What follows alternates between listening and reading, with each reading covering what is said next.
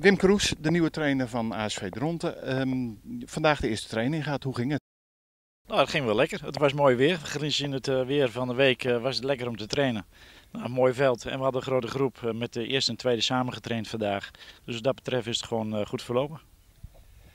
Um, Wim Kroes is nieuw in, bij ASV Dronten. kun jij jezelf even kort voorstellen wie je bent en wat je tot nu toe gedaan hebt in de voetbalsport? Ja, ik heb altijd zelf gevoetbald. En uh, ik ben uh, geboren en getogen in Elspet. Daar heb ik merendeel gevoetbald. Daarnaast heb ik ook bij VVOG in Harderwijk gevoetbald. Uh, na mijn carrière, dat is ongeveer 35 jaar, heb ik een paar trainingscursussen gevolgd. Altijd als trainer actief geweest in de regio. Nunspeet, Harderwijk, Nijkerk, hier in de, in de polder bij OWO's enzovoort.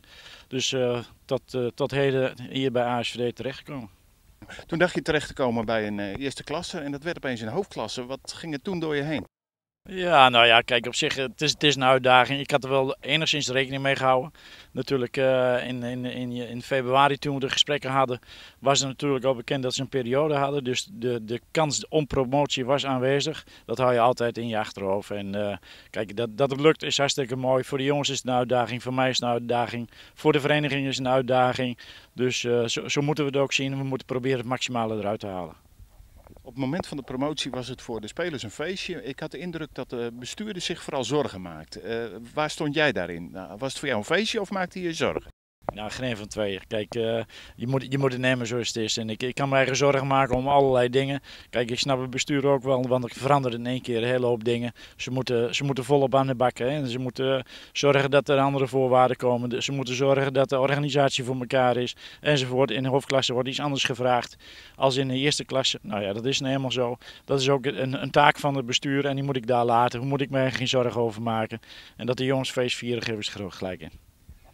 Maar sportief gezien lijkt het mij ook, uh, je noemt het een uitdaging, maar het zou ook een zorg kunnen zijn. Ik weet me van vorig seizoen uh, oefen- en bekerwedstrijden tegen Flevoboys en Genemuiden te herinneren met uitslagen van 6-0 en 6-1.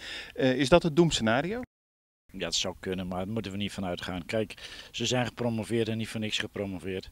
En we moeten gewoon blanco erin gaan en uh, zien waar het schip strandt. En ik denk dat, gewoon, dat het heel belangrijk is dat iedereen met de gedachte erbij is van maximale eruit halen en volle bak geven.